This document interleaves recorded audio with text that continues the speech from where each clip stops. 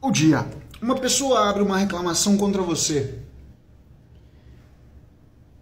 Vou contar a história da bicicleta. Mandamos então uma bicicleta e essa bicicleta chegou para a pessoa lá. E a pessoa então reclamou que a bicicleta chegou com a câmera furada. Quanto custa uma câmera de bicicleta? 20, 30, 50 reais? Uma cara? 50 reais. Ok. Quanto custou a bicicleta? 2,400. Imediatamente, o que, que você tem que fazer? É mais barato para você falar para a pessoa, por favor, compre uma, compre uma câmera que eu pago para você? Ou é mais barato você falar assim, ó, é, vou te mandar uma transportadora buscar a sua bicicleta que já está reganhada, aberta, que o cara vai pôr de qualquer jeito na caixa? Houve uma reclamação que o problema é fabril, não é seu. Só que o que acontece? A responsabilidade é sua. Por quê? Porque existe a condição de você ter vendido um produto lacrado com defeito. Só que é um defeito que regaça o produto? Não. É um defeito que machuca o produto. E aí, dependendo das pessoas, vou falar que 90% delas concorda que é o que aconteceu ontem. Eh, a minha funcionária foi muito rasa e falou assim: não, então nós vamos fazer devolução. Só que ela se esqueceu que é uma bicicleta e não uma pena ou não um travesseiro. Então a gente pagaria mais de 500 reais de frete de devolução, porque nós teríamos que buscar. É um produto que o Mercado Livre não iria coletar de volta, mesmo tendo ido pelo Mercado Envios, ele não voltaria pelo Mercado Envios. Nós teríamos que ir buscar essa, esse produto. O Mercado Livre pagaria depois esse, esse frete mas o produto voltaria não lacrado. Automaticamente, você perde a condição de venda de produto lacrado. Quando você tem uma reclamação dentro do Mercado Livre, a primeira coisa que você tem que fazer, entendendo do produto que você vendeu, é tentar achar uma solução que custe menos. Uma reclamação já te custou o que você está tentando fazer é apaziguar o tamanho do fumo que você, vendedor, vai ter que assumir. Na, eu falo sobre o Mercado Livre há um tempão, mas vocês precisam entender que nós temos que trabalhar com a lógica. Não é a minha lógica, a lógica do mundo. Você precisa ser gentil e educado à pessoa ao ponto dessa pessoa gostar do seu atendimento e às vezes, dependendo do produto, outro. Entregamos um fogão uns 15 dias atrás. Ele amassou, lacrado.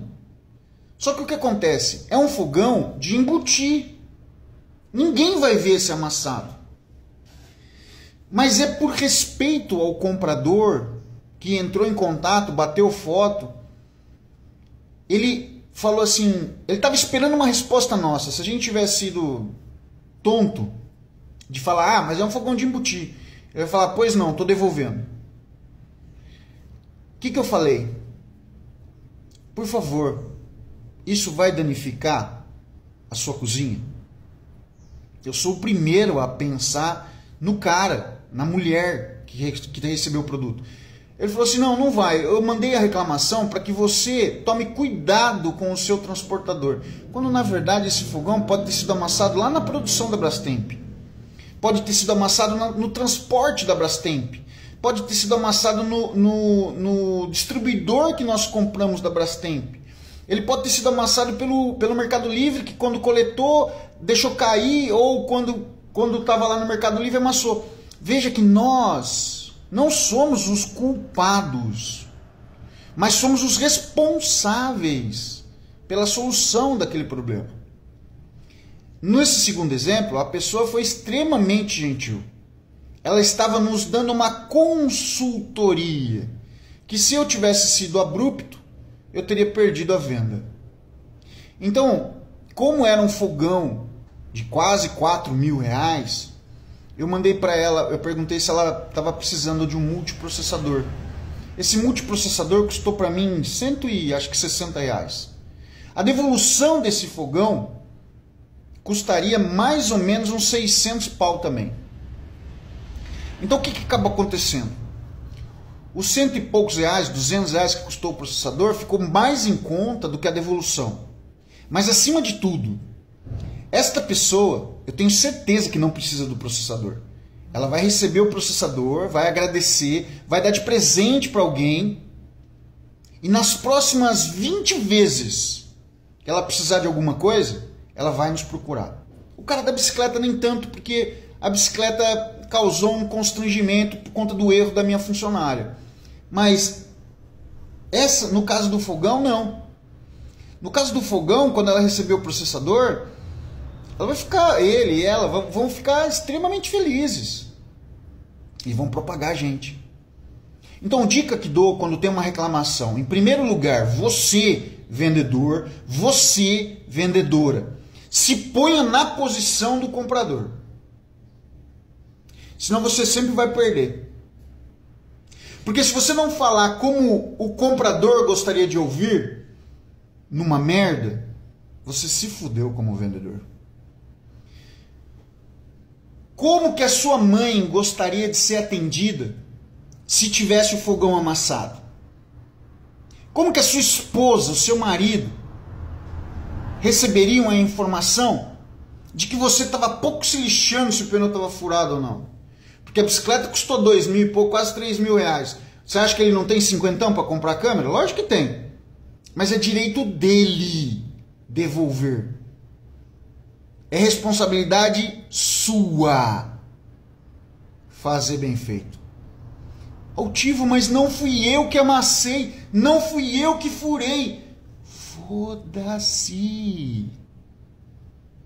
Você está no melhor marketplace do Brasil. Ele não vai exigir menos porque você é um pebinha. Ele vai treinar você a se tornar picas. Então, a próxima vez que você for reclamar de uma reclamação que alguém fez contra você, respire. Vá ver o produto, as fotos, a reclamação e se ponha na posição daquele cara. Como se aquele cara tivesse, ah, mesmo que às vezes eles ajam de má fé, tá bom? Mas vamos sempre pôr na condição de que ele agiu de boa fé e ele está fazendo uma solicitação. Tirando os filhos da puta que compram para sacanear mesmo, e é por isso que a gente é contra a Shopee, porque a Shopee, todo filho da puta reclama lá, e a Shopee paga pro cara e desconta do vendedor. É, dentro do Mercado Livre, você mostrando as fotos, a gente mostrou aqui para vocês outro dia as fotos do, do, do, produto quebrado, do produto queimado, porque a pessoa comprou 110 e ligou em 220. Então aí não é uma reclamação. Ele está tentando ver se cola. Se você deixar, cola, ué.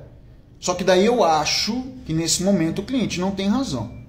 Aí a gente tem que expor a realidade e quase 100% das vezes nós ganhamos esse tipo de discussão, porque usamos da lógica. Cliente sempre tem razão, vírgula, desde que tenha razão. Ponto. Então, antes de gritar, brigar, xingar porque alguém abriu uma reclamação, vá lá e veja a reclamação. Em que ponto e em que pé está. Beleza? Toda reclamação, na verdade, é uma consultoria de graça. Se você olhar pelo copo mais para cheio do que pelo copo mais para vazio.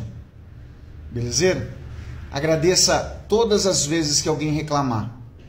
Porque essa pessoa está te pondo o dedo em algum problema que talvez seja é, insolucionável num tempo para frente se você não começar a corrigir os, os pequenininhos que acontecem hoje, beleza? Se você quiser vender no Mercado Livre, vendendo no Mercado Livre, que é o nosso negócio, podemos ajudar você e a sua conta a crescer dentro do Mercado Livre. Dentro da bio aí tem nosso zap, nosso site vendendo no mercadolivre.com.br pode te ajudar. Clica lá, manda um zap, nossa equipe vai poder te atender melhor. Beleza? Super dica, super dia, super maravilha. Bom dia.